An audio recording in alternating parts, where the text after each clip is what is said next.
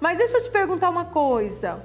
Falando sobre coisas bonitas, imagens bonitas, inspiração de Deus na vida desse fotógrafo, na vida de tantas pessoas, deixa eu te perguntar uma coisa. Você sabe quem foi Constantino Xavier e Ana Rosa? Só vou dar uma dica. Foram inspirados por Deus também. Casal responsável por tornar a devoção ao Divino Pai Eterno conhecida nós vamos conhecer melhor essa história agora na reportagem.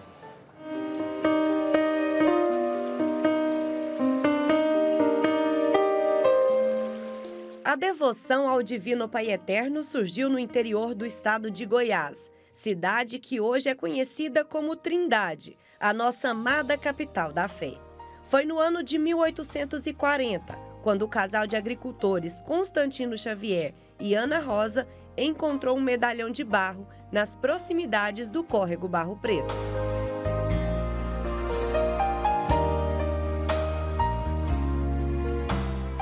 Conta a história que a enxada do lavrador acertou algo rígido, mas não era uma simples pedra. Era um medalhão de barro com a imagem da Santíssima Trindade coroando a Virgem Maria. Na simplicidade, o casal de agricultores não imaginava a grandiosidade daquele objeto.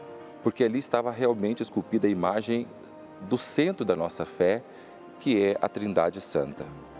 E nós conhecemos a Trindade como a experiência da comunhão. O Deus Pai, Filho e Espírito Santo numa comunhão de amor que se movimenta em favor da humanidade. E ali está Maria. E essa é a grande grandeza deste ícone. Maria está sendo coroada, ela não foi coroada, ela está sendo coroada. Como todos nós, a humanidade, somos coroados como filhos da Trindade, como pessoas chamadas a viver a exemplo da Trindade. O casal se encantou e, demonstrando fé, amor e devoção, levaram o medalhão para casa, mas não imaginava que aquele acontecimento mudaria a vida do povo daquela região.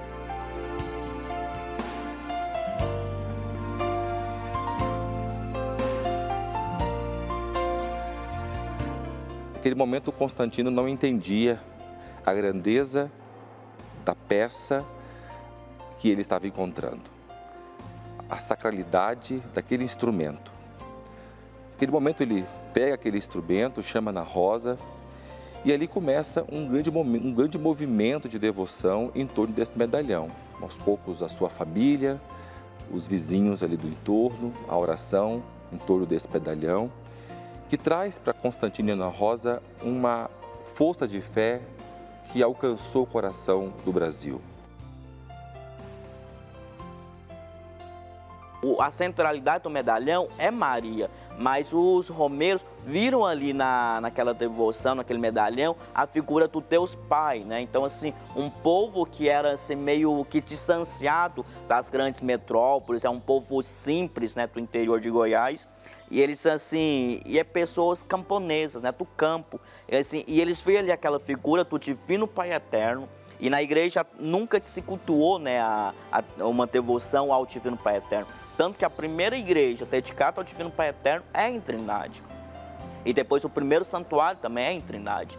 Então, assim, o... e eles levam né, essa, esse medalhão para a vida deles. A partir daí, eles passaram a fazer o culto do Evangelho no Lar, o terço, em agradecimento a essa graça recebida, construíram uma pequena capelinha de Buriti e essa romaria foi crescendo como uma mancha de óleo.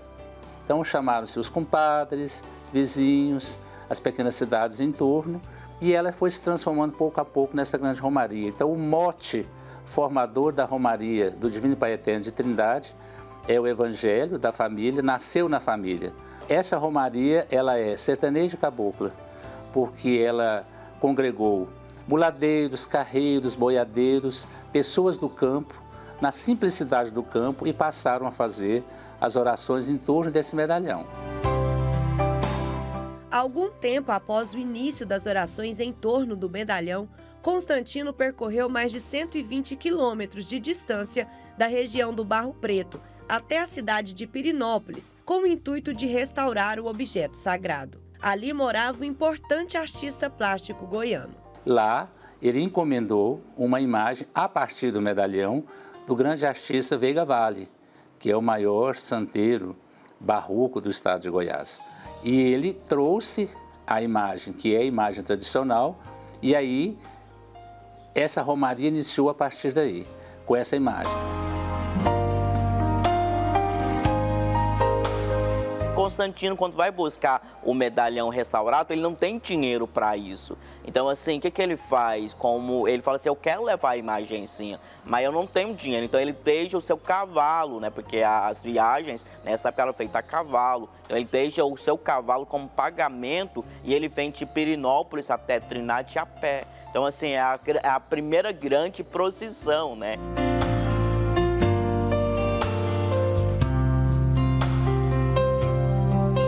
Essa imagem original do Divino Pai Eterno fica guardada no Santuário Basílica, assim como o próprio medalhão, que só foi exposto uma vez, no dia 5 de julho de 2020, devido ao jubileu de 180 anos de devoção, quando os romeiros puderam rezar e se manter em comunhão. O medalhão mostra que na pequenez, na humildade, o Pai Eterno manifestou sua misericórdia. O medalhão tão sensível que está sob nossos cuidados, né? Esse desde 1840, veja que nós estamos celebrando 183 anos de história, está sob os nossos cuidados e é nessa singeleza que Deus revela a grandeza do seu amor e alcança os corações de milhares de pessoas que todos os dias, todos os anos recorrem à Trindade para agradecer o Pai Eterno, o dom da vida.